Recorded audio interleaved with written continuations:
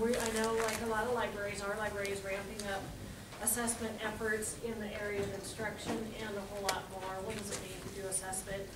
Jan Zauha, professor and reference librarian at the MSU Library, is going to help us think about that and facilitate discussion and, uh, teach us some new names. Thank you, Marianne. I'm really happy to be asked back, because that means I didn't really annoy anybody too much the last time I was here. Um, I want to also do truth in advertising, which is that I am not an assessment expert by any means. I don't have the title of assessment librarian. Um, what I have done is led an assessment effort that was pretty major in our library to assess our library commons, the new area that you guys have all seen now, where we redid the whole first floor. And I worked on that um, last summer and fall with a group of people. So I'm kind of scratched from that. I'm also starting to work some on instruction assessment. But I also want to tell you that although the title says assessing library instruction, I want to stress the and more. Because I'm really not talking specifically about a, a certain type of, of assessment. Um, I'm, I'm doing something a little bit different. And what I, what I hope that we'll do here today is basically have a conversation, because I am guessing that many of you have a lot of assessment experience. I'm also guessing some of you have no assessment experience. So we have everything in this room, I would think, um, from beginner to expert. And so I'm hoping that we will have a major conversation where we get to share some ideas. That's one of my goals. I want to start with a sort of broad why and what of assessment, and then open it up for discussion at the tables, and then as a big group discussion, and then end with starting points and resource options. Uh, again, sort of a, a input time for all of you as well. And I really feel as if you all should interrupt me at any point, please, because that's, you know, we're, we're here to talk to each other, not to listen to one person. Um, and, what else can I say? Can you hear me? Everybody in the back, you can hear me? Yeah. Anita, can you hear me? I can hear you, Okay, good. I'm gonna pick on the poor people that I do know in this room. but we won't call you a loud librarian. Unfortunately. Um, all right, so, why assess? Uh, this is a big term right now. This is, uh, something we're seeing a lot of in literature for academic libraries, college libraries, libraries of all kinds, and our institutions that we're embedded in are all very concerned with assessment. An economic climate. Money is always a great motivator for assessment. Um, and as Ortiz and Bayer, Boyer say, assessment has to include looking at your weaknesses as well as the really nice things that are going on. I think a lot of times we really just want to find the nice things. And that when you talk about assessment, people kind of get this image in their head. I was, we were talking, uh, we were talking the other day or the other week about creating an assessment librarian position. And a lot of us were saying, hmm, who would actually want to be that? Because this is the image that people might have of you. As soon as you start talking about assessing what you're doing, finding the weaknesses, finding what you need to get rid of, of course, you're thinking chopping block. How many of you in this room have someone on your staff who is in charge of assessment? Okay, so three or four, three or four organizations have that. I don't know. How's that going? Great. How's that going? No, no, I'm not, but I, you know, I, I don't know, I mean, they. They do their thing? Yeah. That's interesting. It's tough. Who else had their hand up over here? Yeah, how's, how's it going for you guys? To have an assessment focused person? Well, um, they have, their title is usability and assessment. And they- are also tasked with other things like our virtual reference and This is in your library, so. In my library, yeah. And, uh, and I think, I think it's really valuable, the work that she does, but it ends up isolating her as a librarian compared to the other librarians because she's assessing every, everybody's work. So she ends up being, you know, like internal affairs. Like, the room goes quiet, the room goes quiet when she enters the room. Okay, Yeah, I about- know, sorry. How about you? Um, it's good. The uh, person who's doing it for our campus has us really focusing on projects instead of everything. We're not assessing everything. We choose what we want to assess, and we'll do that for two years or so, and then move on to something else. So it's a manageable thing.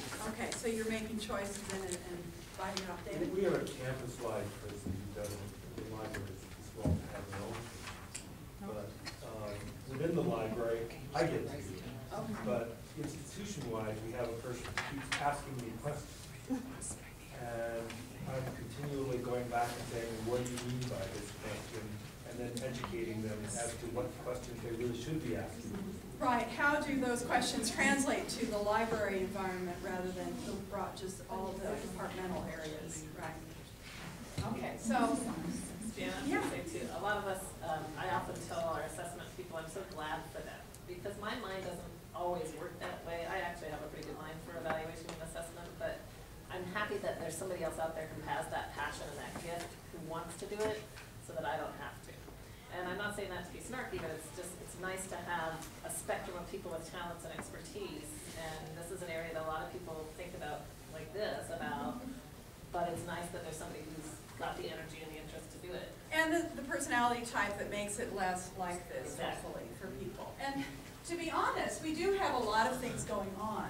And so when you think about, um, you know, the ways that you could assess stuff, I mean, I love what you were saying, that this person, you, you choose projects to assess. Uh, because, you know, many of us, when we think about our day-to-day work, you could assess just about everything you're doing. And so it is, a it's a, it's a little bit difficult to, um, to both make choices for focus and also to understand the best ways to do that. Plus, what we find out from people who are really seriously researching this and working at large institutions like Stephen Hiller, who is, uh, does anybody know Stephen Hiller? Okay, good. Um, I don't, but I love what he has written about assessment. He is, um, he is the Director of Assessment and Planning at the University of Washington Libraries. So we're talking, you know, he has a big job here. And he's telling us that really it's a structured process, that we need to have a sort of bigger picture. That, uh, and this is one reason why I did not want to just focus on library instruction today. Because I feel as if we're better off if we take a step back a little bit and think about our environments and think about what the experts are saying about how we might structure how we look at our processes and our services and our facilities.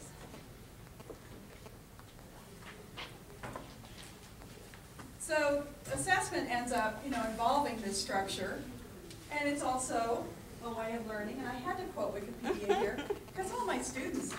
Plus, I think it's really cool that Wikipedia has a section on library assessment.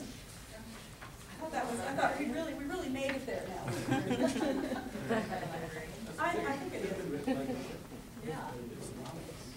No, well, there are some, you can look at the emails, the email addresses at the other page.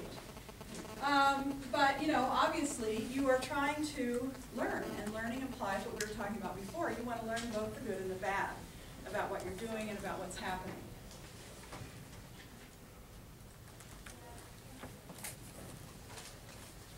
And this is, this is taking it way far, but it's a way of life. This makes me think I'm gonna go home and start assessing how my kids are behaving after a long day at work. Um, Radell published the article, More Than a Buzzword, Assessment as a Way of Life, in a two thousand eight issue of Tribal College Journal.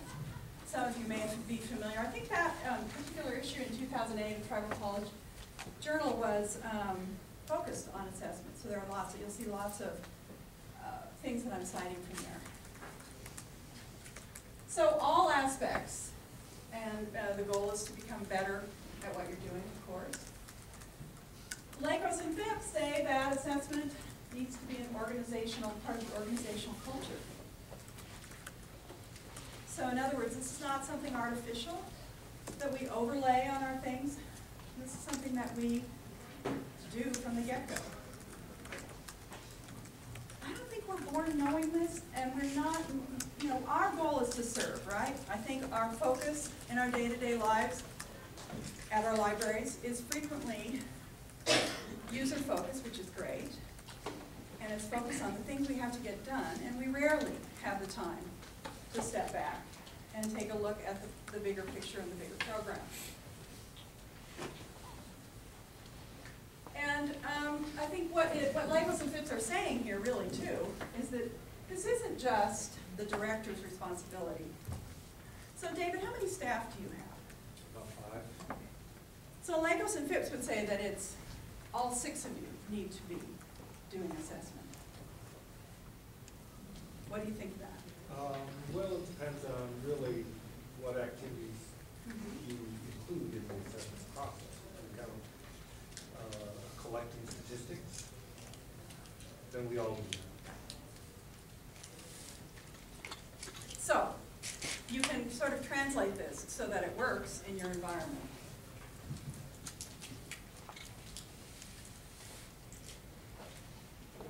I think, um, you know, talking about where you make your choices, where you start. If you're not deeply involved already and have a plan in place for assessment, um, that slide where I had things flying in from every direction is, is how our minds are. Well, where, on earth will I start this?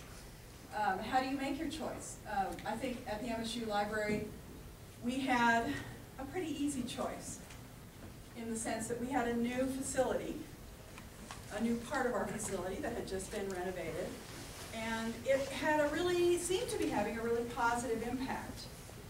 So it was a sort of feel-good assessment to do. You know, we didn't think we're gonna find out all these incredible weaknesses. And to be honest, we, we didn't really find a lot of weaknesses. We found some things we needed to tweak. Um, but that was where we chose to start one of our assessment projects. It's not the only thing that we've been doing. But you might also say, well, where are a lot of your people involved? And instruction is often one of those heavy load, heavy workload, and therefore expensive services. And so library instruction might be a great place for you to start dabbling in assessment. Going beyond evaluation of how instructors are performing in the classroom and moving more into sort of student-focused, student outcomes-focused assessment of the learning process. Collections might be another point, and we could make a long list here. The point is try and make some decisions.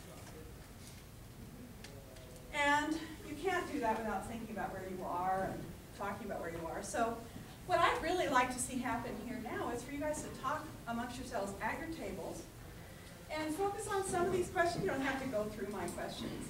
The main thing is to think about how you're doing assessment right now, if you're doing it, what your concerns are, are there obstacles, what's working well, how do you know what's working well at your library? Maybe you're doing more assessment than you realize. And then we'll report out and have a, have a big room discussion. So how about for 15 minutes, we focus at our tables and talk about your experiences with assessment, talk about what your concerns are, what you know. No, not just about, I mean, you could focus on instruction if you wanted to, but um, really, any, any kind of assessment that's going on. Okay? And, and please just find a person to report out to before we go into the